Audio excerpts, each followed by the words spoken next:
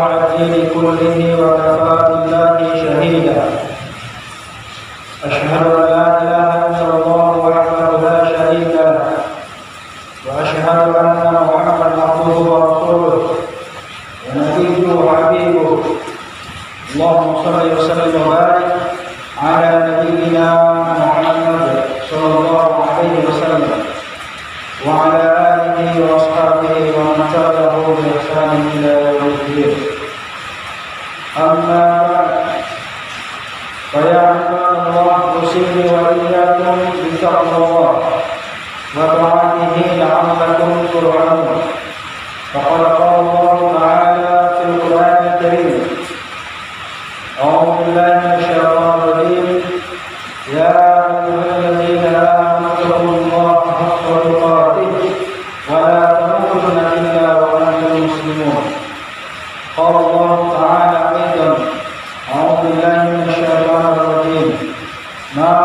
أصاب من مصيبة إلا بإذن الله وقال النبي صلى الله عليه وسلم احفظ الله يحفظك احفظ الله تجده رجاءك صدق الله العظيم وصدق رسوله الكريم والحمد لله رب العالمين Hadirin kaum muslimin, saudara-saudara jemaah Jumat rahimahumullah.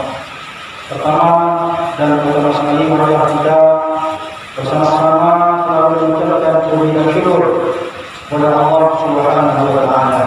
Alhamdulillah pada siang hari ini meskipun kita sedang dilanda hujan deras namun tidak mengurangi daripada semangat kita untuk beribadah kepada Allah Subhanahu wa taala.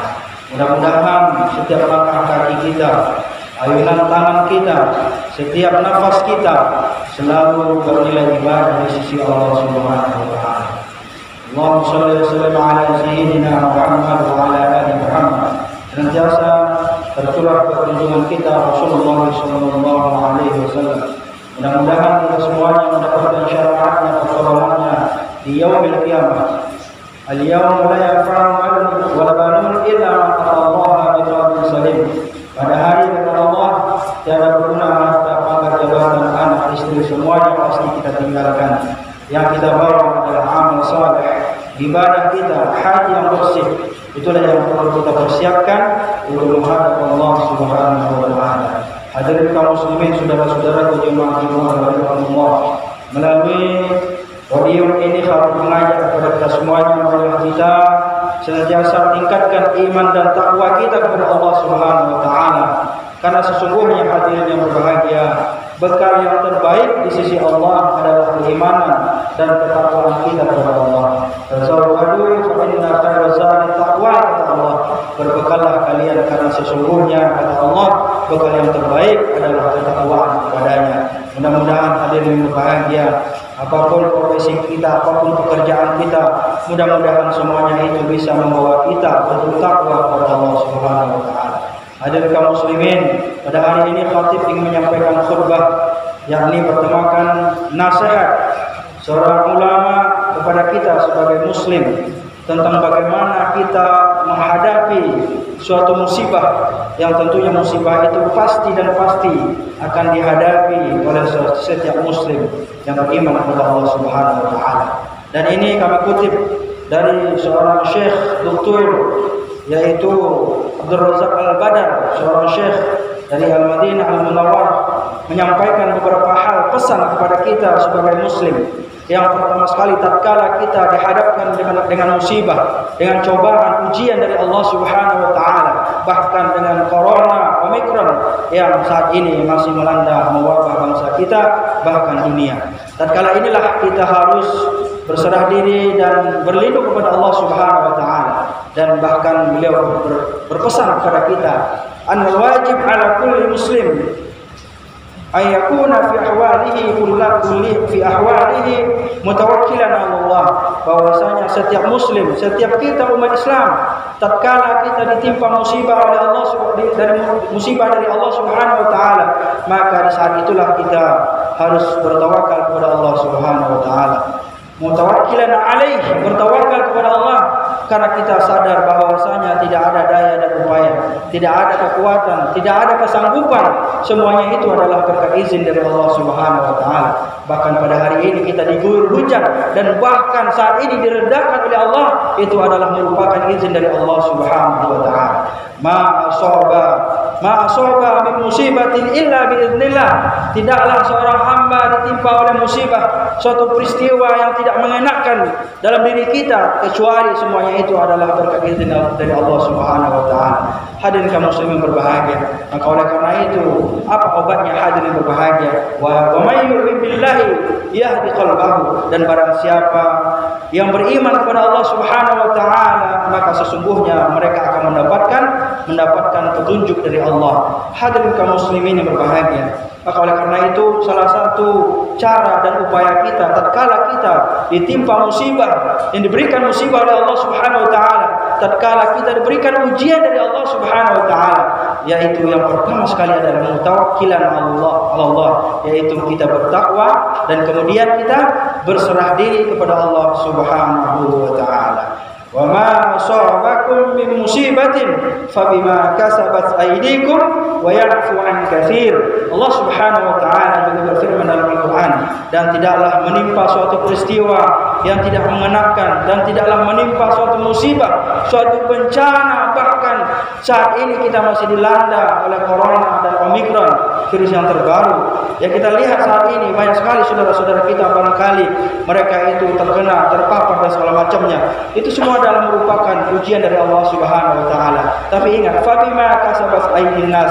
Barangkali musibah yang melanda bangsa kita, musibah yang melanda diri kita, saudara kita, kerabat kita, bahkan mungkin musibah yang melanda suatu peristiwa yang tidak mengenakan dalam suatu pekerjaan kita, semuanya itu adalah karena perbuatan diri kita sendiri. Alhamdulillah hadir berbahagia. Maka oleh karena itu hendaklah kita berserah diri kepada Allah Subhanahu wa taala wa ya'fu an katsir. Allah Subhanahu wa taala senantiasa memberikan kepada kita kesempatan dan kesempatan lagi. Kesempatan untuk apa hadir berbahagia? Itu adalah untuk bertaubat kepada Allah Subhanahu wa taala. Tatkala Allah Subhanahu wa taala menurunkan musibah pada kita, mungkin bala bagi sebagian orang, mungkin ini adalah ancaman bagi sebagian pekerjaan seseorang. Tapi ingatlah tatkala kita ditimpa oleh sesuatu yang tidak menyenangkan, sesuatu musibah yang tidak menyenangkan dalam diri kita, maka hendaklah kita berserah diri kepada Allah Subhanahu wa taala. Karena sesungguhnya Allah Subhanahu wa taala adalah Tuhan yang Maha Kuasa. Hadirin kaum muslimin, yang kedua, hendaklah kita melakukan yaitu tatkala kita ditimpa musibah oleh Allah Subhanahu wa taala yaitu ihfazillah yahfazka peliharalah adalah Allah Subhanahu wa taala. Ihfazillah yahfazka ihfazillah tajidhu tijahaka hendaklah kita memelihara agama Allah Subhanahu wa taala memelihara ibadah kita salat kita zakat kita infak kita sedekah kita. Tetap pelihara kita istiqamah di dalam melakukan kebaikan dan amal saleh. Insyaallah dengan kita beramal saleh maka bencana bala musibah akan terjauh akan terhindar dari bangsa kita dan diri kita saya teringat sebuah pesan dari Sayyidina Ali bin Abi Thalib sahabat Rasulullah sallallahu alaihi wasallam.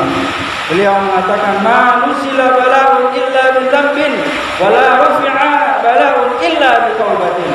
Kata Sayyidina Ali dan tidaklah diturunkan suatu bencana tidaklah diturunkan suatu musibah tidaklah diturunkan suatu bala kata Sayyidina Ali kecuali karena perbuatan-perbuatan dosa-dosa kita itu sendiri walau rufi'a bala'un illa bi taubatin dan tidaklah akan diangkat. Tidaklah akan disembuhkan suatu penyakit. Tidaklah akan dicabut suatu penyakit kata Sayyidina Ali kecuali kita bertaubat kepada Allah Subhanahu wa taala. Hadirin berbahagia. Mudah-mudahan di sisa-sisa umur kita ini, di saat-saat kita diberikan umur yang panjang oleh Allah Subhanahu wa taala, pekerjaan kita kita bersyukur kepada Allah Subhanahu wa taala. Banyak orang di luar sana tidak mendapatkan pekerjaan, banyak orang di luar sana tidak mendapatkan kesehatan, sehingga ketika kita mendapatkan pekerjaan, mendapatkan kesehatan, kita mampu beribadah, memenuhi panggilan Allah Subhanahu wa taala dan sehingga kita menjadi orang-orang yang bertakwa kepada Allah Subhanahu wa taala. Yang terakhir hadir berbahagia.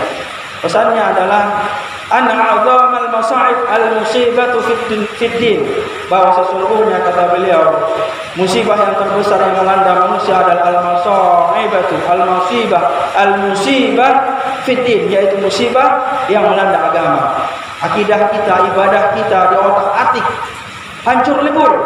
Inilah musibah yang terbesar yang dihadapi umat Islam saat ini di akhir zaman ini.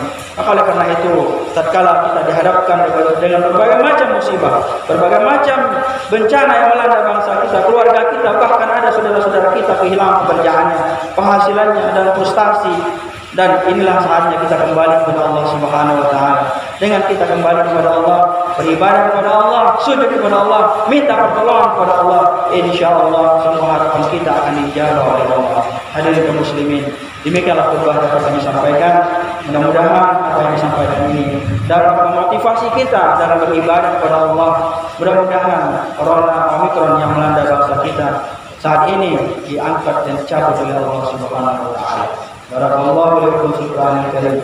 ونفعني وإياكم بما فيه من الآيات والذكر الحكيم. وتقبل مني ومنكم تلاوته. إنه هو الغفور الرحيم.